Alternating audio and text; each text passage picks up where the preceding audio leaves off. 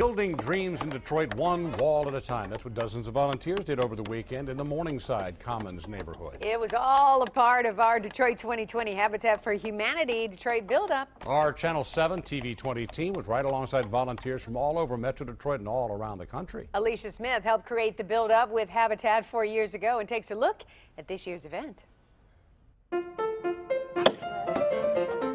Planks of wood, a pile of nails, and plenty of hammering soon yields walls for future habitat homes. Homes owned by family partners like Sylvia Hubbard. Our house was built with love, so when we moved in, we know like every light switch, every piece of paint, every nail that was drilled in was drilled in out of love, like someone gave their time to do this for us. And family partners work right alongside the volunteers.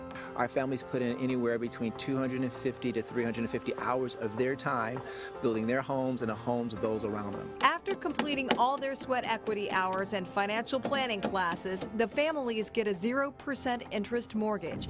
And those who help make it happen come from all over. How about building houses? Is this something that's in your blood? Yes, I actually go to Michigan State, uh, and my major is uh, construction management and urban and regional planning. So it's, it's perfect. This was designed for me. The buildup was also a good fit for our community action team, Belfor, St. Joseph Mercy Health System, Priority Health, NECA, and IBEW. We've worked on Habitat for years. We do probably six or seven throughout the year, and then we're going to be working on the Blitz build again this year. You spend an entire day down here, and uh, at the end of the day, you've got something that you can really point to with pride and say, we, we made a difference. None of us can do this alone, that we have to work together to achieve our missions.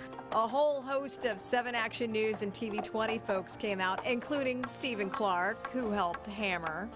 We couldn't have done the buildup without the generous support from Mann's Building and Lumber out of Canton. They donated all the wood for the fourth year in a row. English Gardens also donated flowers and soil for the window boxes. A true team effort. Now this is taking action. Detroit 2020! Hey, we're going to thank all the volunteers who came out to help, including our social media friends on Twitter, the Back Channel, and the Early Risers. Yes, indeed. And a new face debuting on Channel 7 in September. One of our new hosts of the list, Jimmy Rhodes.